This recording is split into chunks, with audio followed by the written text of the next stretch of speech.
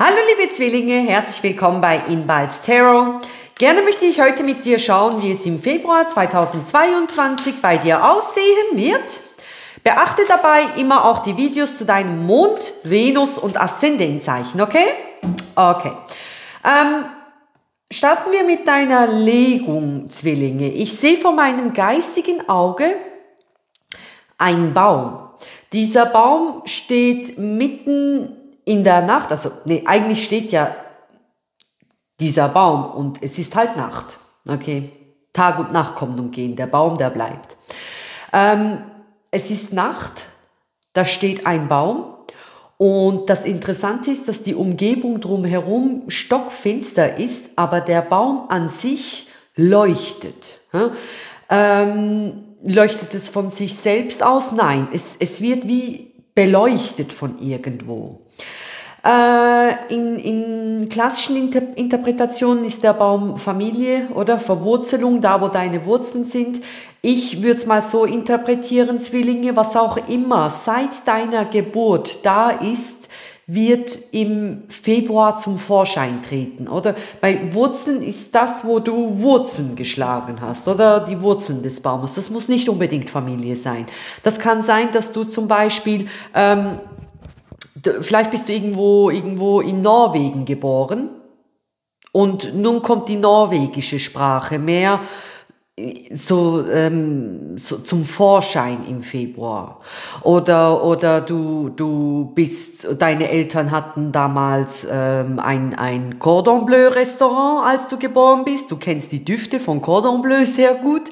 Und äh, das ist dann etwas, das seit deiner Geburt da ist. Dann kommt das auch zum Vorschein im Februar 2022. Was auch immer bei deiner Geburt so Teil deines äh, deiner, deines Sinnesumfelds ist, ja, war, beziehungsweise, was du aufgenommen hast mit deinen fünf Sinnen damals, als du auf die Welt gekommen bist, das tritt zum Vorschein. Okay? Wollen wir mal schauen? Vielleicht gibt es unter euch Menschen, die in den Alpen geboren sind und jetzt habt ihr einen Februar, wo ihr zum ersten Mal Ski fährt, Snowboard fährt, hm? da ist irgendeine Wiederverbindung da, eine Reconnection mit, mit, der, mit der Geburt. Irgendwas, das mit deiner Geburt zu tun hat. Okay? Vielleicht haben manche von euch einen, einen Zwillingsbruder, Zwillingsschwester, eine Zwillingsschwester und ihr habt jetzt vermehrt Kontakt im Februar, hm? verbringt viel Zeit miteinander. Schauen wir mal. Eine Karte bitte für Zwillinge im Februar 2022, bitte. Zehn der Münzen. Da ist ein Neustart im Februar, nachdem du etwas anderes ähm, komplettiert hast. Wir gehen in unserem Leben, gehen wir mehrere Münzenphasen durch. Von Ast der Münzen hin zu Zehn der Münzen. Ast der Münzen, Zehn der Münzen. Ast der Münzen, Zehn der Münzen. Hm, wir machen all die Schritte durch bis zu Zehn der Münzen. Jetzt ist es so. Von allen Assen ist Ast der Münzen die einzige, die Wurzeln schlägt. Münzen stehen für Erde für Wurzeln, für das Pflanzen von Dingen. Ja, da entstehen Dinge. Und du hast in der Vergangenheit mal ein Ast der Münzen vor deinen Augen gehabt. Ja, eine Gelegenheit, um etwas zu starten.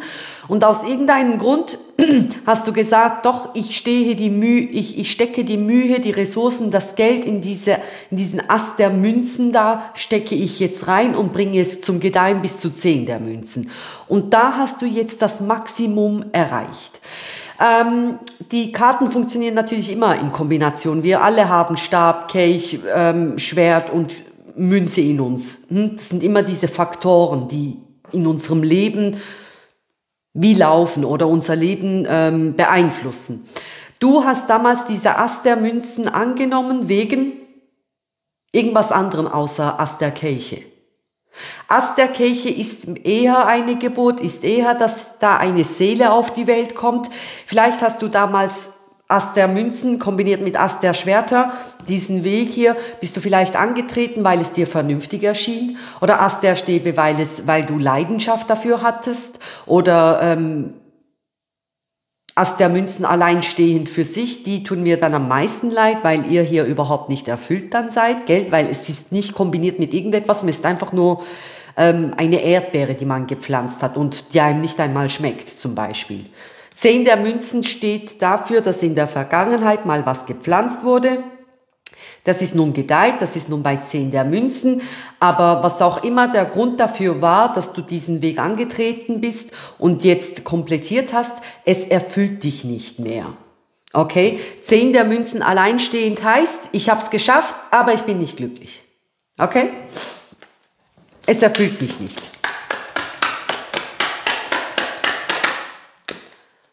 Ich will was Neues pflanzen. Hm. Ich will was Neues pflanzen, ich will es nochmals angehen, ich möchte wieder was mit, mit was Neuem starten. Okay?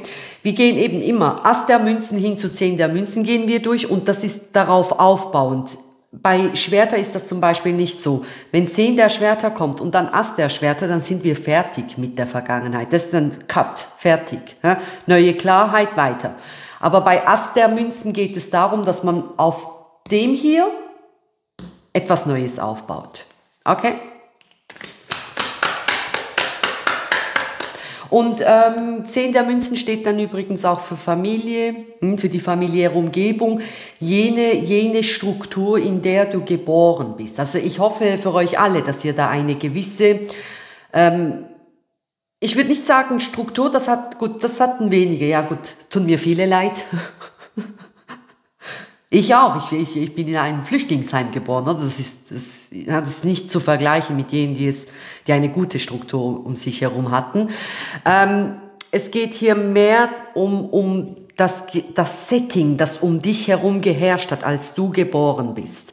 Falls du zum Beispiel ähm, in einer schlechten Familie aufgewachsen oder da geboren bist und zum Beispiel als Baby Schlechtes um dich herum hattest, dann ist das auch schon ein Setting. Das ist auch eine Zehn der Münzen. Was für ein Zehn der Münzen? Ja, das ist dann, das kann man dann hinterfragen, aber es ist ein Zehn der Münzen und leider eine stabile Situation bei vielen, ja, das anhält.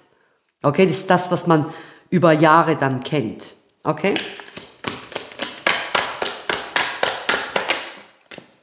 Königin der Schwerter. Das bist du, Zwillinge. Du bist die Königin der Schwerter im Tarot, bist ein Luftzeichen. Ähm, es kommt mir ein bisschen vor, wie wenn du sagst, dieses Mal geht es nach meiner Nase. Es ist eine ziemlich interessante Energie. Du nimmst etwas, das bei deiner Geburt geherrscht hat, nimmst du und sagst, ich werde es umformen gemäß meiner, meinem Gusto. Hm? Es werden hier jetzt viele Menschen zuschauen, die vor allem für die Liebe schauen, ja, die vor allem in der Liebe ähm, die Karten befragen möchten. Da wäre die Situation zum Beispiel, sagen wir mal, sagen wir mal, deine Eltern waren zum Beispiel getrennt, als du geboren bist. Dann möchtest du schon das aufnehmen. Du findest das gar nicht so schlimm. Aber du willst es auf eine bessere Art und Weise jetzt durchführen. Auch du möchtest jetzt ein Kind äh, in Trennung, du willst mit niemandem zusammen sein, aber auf eine bessere Art und Weise. Oder sagen wir mal, du bist in einer ähm, gefestigten Familiensituation geboren, wo die Eltern oder super drauf waren, oder? Hm? Wo die Beziehung auch toll war, das Familienleben toll war, dann sagst du, das war toll, ich nehme das und werde das aber auf meine eigene Art und Weise nehmen oder auf meine eigene Art und Weise gestalten. Okay?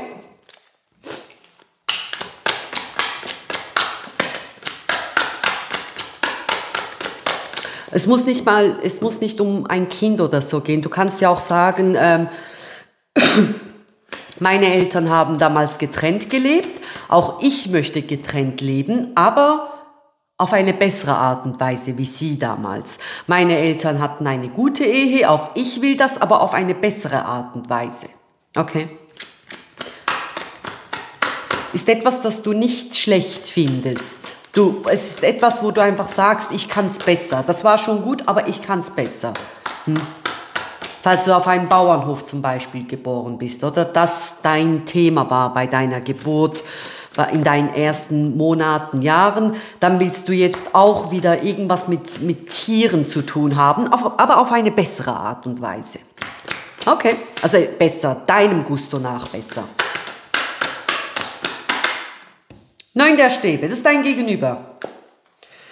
Ähm, wie steht es so mit der Kommunikation zwischen euch beiden? Weil ihr seid irgendwie beide komplett woanders? ähm, mit wem auch immer du es hier zu tun hast, dieser Mensch ähm, hat einerseits ein bisschen Angst vor deinem harten Auftreten hier, ja, für dich ist es sehr wichtig, dass es jetzt nach deiner Nase geht. Andererseits bereut dieser Mensch ein, nicht bereut, sondern fragt sich, ob das damals ein richtiger Start war. Ich habe ja vorhin von diesem Ast der Münzen in der Vergangenheit geredet, wo jetzt zehn der Münzen erreicht wurden. Dein Gegenüber fragt sich, ob hier damals aus richtigen Gründen heraus begonnen wurde. Hm. Es gibt hier eigentlich kein richtig oder falsch, so wie es aussieht, so wie ich das fühle, war das damals für diesen Moment an diesem Ort schon die richtige Entscheidung. Aber oder Menschen verändern sich, wir verändern uns und du, du hast jetzt einfach andere Prioritäten, sehe ich hier. Okay. Das macht die Vergangenheit nicht falsch, es macht es einfach ähm, abgelaufen. Okay.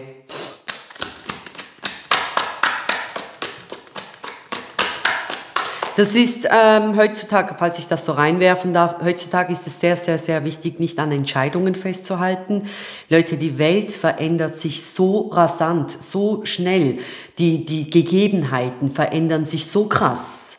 Man kann, sich, man kann es sich nicht mehr leisten, an Entscheidungen von, von letztem Jahr festzuhalten oder paar Monaten. Es geht nicht. Ihr habt gesehen, auch mit Corona zum Beispiel, all jene Eltern, die ähm, dran festgehalten haben, dass Kinder nicht mit, ähm, mit einem Tablet rumspielen können. Wenn die dran festgehalten hätten, hätten sie die Bildung des Kindes versaut. Oder man, man, das ist ganz wichtig heutzutage, dass man nicht an alten Entscheidungen festhält. Dass alte Entscheidungen verworfen werden, heißt nicht, dass das damals falsch war, sondern dass jetzt einfach nicht der richtige Zeitpunkt, der richtige Ort mehr ist für diese Entscheidung. Es ist verfallen sozusagen, okay? Schauen wir mal. Acht der Stäbe. Gut, Kommunikation. König der Münzen. Ihr werdet euch hier sehr schnell einig darüber, ähm, wohin es jetzt neuerdings gehen soll. Da es kommt hier Kommunikation auf dich zu, beziehungsweise falls ihr schon Kontakt habt, werdet ihr viel transparenter über, über, über diese einerseits die Ängste deines Gegenübers und den neuen Wunsch deinerseits werdet ihr hier reden. Ach, der Steh besteht für diese Transparenz. Ich sehe hier, es wurde in der Vergangenheit in Kombination mit Ast der Stäbe wurde hier zehn der Stäbe angegangen. Stäbe stehen für Leidenschaften, aber auch für Ängste. Ähm, sie stehen für Kreativität, dafür, dass man was Neues auspro ausprobieren möchte. So wurden diese zehn der Münzen damals angegangen. Diese Struktur, die du bisher erreicht hast, in welchem Gebiet auch immer hm, du jetzt deinen Kopf hast, ja, woran auch immer du jetzt gerade denkst. Und ähm, dieses Mal soll es aber aus anderen Gründen nochmals vorwärts gehen, beziehungsweise eine neue Etappe angegangen werden.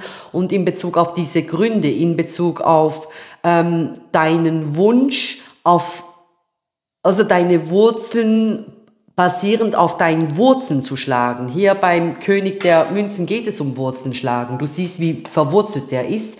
Werdet ihr euch hier schon bald einig sein. Okay? Ich werde hier mit diesen Karten schauen, wie es hier weitergeht und worauf das Ganze hier hinausläuft. Diese Karten hier werde ich fragen, was du vor deinem Gegenüber versteckst und was dein Gegenüber vor dir versteckt. Und für jene, die keinen Kontakt haben, werde ich diese Zeitkarten hier fragen, wann der nächste Kontakt stattfinden wird. Das hier sind Zeitkarten und die werden uns Zeitangaben machen, okay? Den Link zur Fortsetzung findest du unten in der Infobox und im obersten Kommentar. Falls dir mein Stil gefällt, freue ich mich über deinen Klick auf Abonnieren. Wir sehen uns auf der anderen Seite und allen anderen wünsche ich alles Gute, macht's gut. Bye bye!